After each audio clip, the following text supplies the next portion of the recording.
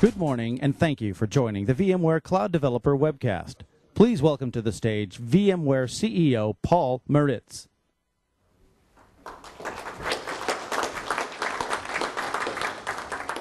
Good morning. I'd like to welcome you all here today, both those of you who are out on the web and those of you who are here in person with us, uh, to what I hope will be actually an interesting and fun uh, session today what you're going to see today represents uh, some of the best work of several generations of uh, developers. There's some of them, uh, like myself, who are on the verge of genuinely qualifying as grandfathers uh, to the next generation of programmers and the generation after that.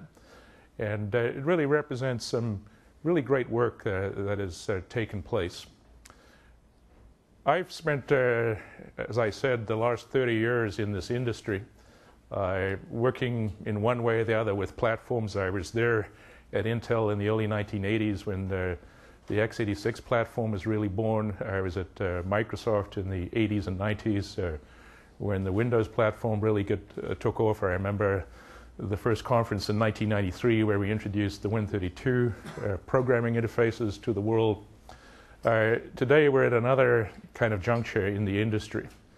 And there are two interesting uh, forces that I think are working to provide the background to what we're talking about today. One is, is the emergence of new programming frameworks. Uh, it's kind of interesting to see in the industry that whereas six, seven, eight years ago it looked like the world had kind of stabilized and crystallized around EJB on the one hand and .NET on the other. And right when we thought that things had uh, stopped changing forever, there was an explosion uh, of creativity that was primarily bottoms up, developer led, uh, as developers gave birth to the new generation of open and open source programming frameworks uh, Spring, Ruby on Rails, uh, now Node, etc. And it really represented developers finding their own way to address the challenges of complexity and scale and uh, doing things in their own terms in uh, ways that made sense to themselves. You see that continuing with the emergence of the new NoSQL uh, programming uh, models uh, and solutions in that space. So tremendous ferment and energy uh, that is being bottoms up, developer led, primarily taking place in the open and open source uh, arena. The other big change, obviously, is the emergence of large scale clouds as a new engine for computing, a, a new force for uh, providing scale and new deployment options. Now, the question about the cloud is, is are these new clouds that are emerging going to become the ultimate California motels or not uh, that you can check into but never check out of? Are we in fact going back to the mainframe era uh, of the 60s and 70s where you had uh, essentially proprietary architectures that developers had to choose from. If the modern clouds, in terms of power and scale, are becoming the new hardware, what, will, what layer, what cloaking layer will play the role that Linux did uh, for hardware architectures in the 80s and 90s? What will give developers a way of writing rich applications uh, but having cloud portability? Uh, we believe that that problem needs to get solved, and it needs to get solved in a open and preferably open source manner. In other words, a genuinely open direction that uh, can complement uh, the work that is being done by developers, led by developers around these new programming frameworks and new programming techniques. And uh, what you'll hear about today is our contribution to bring those two things together uh, and trying to do it in a way that is complementary to what developers have done over the last several years in the open and open source based world. And uh, with that, I'd like to uh, welcome uh, Rod Johnson. Rod, as you know, is the intellectual father uh, of the Spring programming framework, a longtime contributor in the open and open source world. Rod. Thank you, Paul. I think Paul's point about the generations of technologists here is very interesting. and also technologists who have come from different places.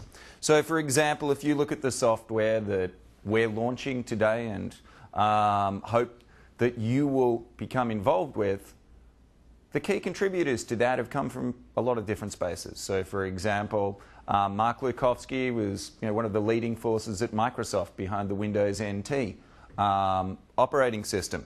Derek um, Collison was a key architect in the leading enterprise messaging um, product. So, my background, on the other hand, is more on developer frameworks and productivity. My background was as the founder um, of the Spring framework, and really, Spring was one of the first of the frameworks that, as Paul said, really simplified developer experience. Before Spring, Java was excessively complex.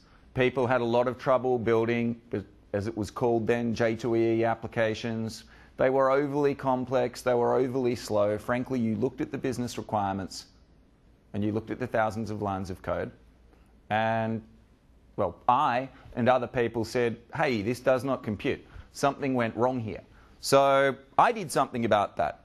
And the Rails community did something about that for their language ecosystem, and the Django community and various other communities really radically improved the developer experience.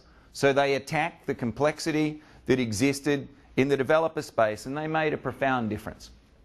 In every case, they did that through open source. So this really made the world a better place. When I think about my own experience and background and how we did that with Spring, one thing that we did is we did it in open source, and our community were a very important part of this journey. Another thing that we did was we adopted some core values early on, and we stuck with them. Some of the core values around Spring were portability, productivity, and simplicity. The goal of everything was to make your application simpler and therefore make you, as a Spring developer, more productive than if you were not using Spring. So if you were using Spring, you were thinking less about nasty, complex APIs. You were actually thinking more about your business logic. The first of those key values, however, was always really important to us, and that was portability. The goal was that if you authored an application with Spring, we were going to do our level best to ensure that wherever you wanted to run that application, whether it was WebSphere, WebLogic, Tomcat, Jetty, um, JBoss, or even outside an application server, Spring was going to help you do that. It turns out that although our platform as a service story at VMware is bigger than Spring, bigger than Java, and will evolve to embrace other language and framework communities, these values have a lot to offer as we move forward.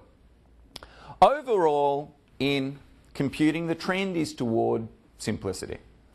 If you look at the drivers for, toward cloud computing, a lot of people talk about cost reduction, etc. To me, the most interesting driver is business agility. You want to have developers who are the people who implement business logic, able to implement that business logic without being unduly distracted by complex APIs. And when they've done that, you want them to be able to go push that business logic out into production without excessive complexity. So if you look at how this trend towards simplicity is playing out, there's been massive progress in the last five to ten years. If you look at, for example, the experience of being a Spring and Java developer today versus, say, being an EJB developer in 2003. I mean, it's, it literally is like day and night. Dramatic difference. If you look at what's happened in the data center, there has been the virtualization revolution. Can't remember the name of the company, but I believe you know there was a company that actually built virtualization technology and pioneered that. So you know, essentially, things are getting better at the bottom layer of the stack and they've got so much better at the top layer of the stack. But unfortunately, the middle of the sandwich does not taste very good. The middle of the sandwich has not gone through this process of revolution. The middle of the sandwich is actually really quite stale, and it is quite possible that eating it will make you sick. So, middleware fundamentally hasn't kept pace with the innovation above and below in the stack. You know, some of those things that I said we were trying to get rid of with Spring, that DHH and team were trying to get rid of with Rails, all those, that complexity and distraction from actually doing your job if you're a technologist. Woohoo, this is there in spades in middleware. Like, I mean, just looking at the you know, notion of enterprise middleware suites is enough to make you dizzy. There's a lot of good software there, but the experience is not integrated. It is really complex. And frankly, when Paul was talking about the different generations, you know, this isn't the product of the kind of young, with it, cool generation. This is still, you know, the product um, of people who come from a very different era. So we have to do better than this. The way we do better than this is through PaaS, or Platform as a Service. PaaS actually, it's an acronym that we've been bandying around so much internally that you know you kind of get used to it. But I must say, I still think the t-shirts are pretty cool. Um, that I hadn't thought of that one, so make sure you get a t-shirt later. PaaS is the solution because in PaaS, the unit of currency is the application. Once upon a time, if I was a developer, I wrote my application using whatever framework, and then I had to go get a server. And it probably just wasn't one server, it was like a server stack. Whether I was using Java or PHP or Rails or whatever, there were a bunch of things that I had to integrate together. And it was complex and it you know, started to bring me back into this um, kind of middleware suite hell. What I fundamentally wanted to do as a developer is I wanted to write an application and be able to deploy that application to an infrastructure that understood that I'm a developer, I care about applications. This is what PaaS does. And this is why PaaS really is the solution to middleware complexity. However, when we look at the current PaaS offerings, we don't think the potential has been fully achieved. For example, typically current PaaS offerings do have some of that hotel, California um, characteristics. For example, they might tie you into a single programming model. They might tie you into a small set of services that isn't going to increase that often unless the vendor offers a new service themselves. And they typically do not help you in writing applications that need to use different clouds. So, coming back to the notion of the Spring values, these values really are not limited to the Java community. And I think they have a lot to offer in the experience that we have through Spring. Has a lot to offer to how we go and clean up this space and how we you know, fix the part of the sandwich that doesn't taste very good. So, one of those key points, by the way, is portability. And I think you'll hear much more from my colleagues about how we're delivering portability. Last week, we published something called the Cloud Developers Bill of Rights. I'm not going to go through um, them line by line, but I think it's an interesting it's an interesting document, and I'd really encourage you to read it, critique, send up your suggestions, because it really reflects an attempt to bring openness or understand what openness is in the PaaS space. So, you know, some of those things include essentially the right to portability. Just as if you wrote an app using Spring, you could deploy to Tomcat or WebLogic or JBoss. Well, if you write an application for somebody's cloud, you shouldn't be locked in to that cloud. However, when we published the Cloud Developers Bill of Rights last week, we deliberately left one out. And I'm very pleased that today we can add that all the frameworks that we've talked about are open source. Open source is where it's at for developers today. And we recognize this. So, with respect to our core PaaS technology, it is open source. And I think that is going to be a very positive choice for the industry. So, today we are launching Cloud Foundry, and this is the open platform as a service. Open in a number of ways, only one of which is open source. Hopefully by the end of the talk, when you've actually seen some code and samples rather than looked at slides, I believe you will agree that the openness is very important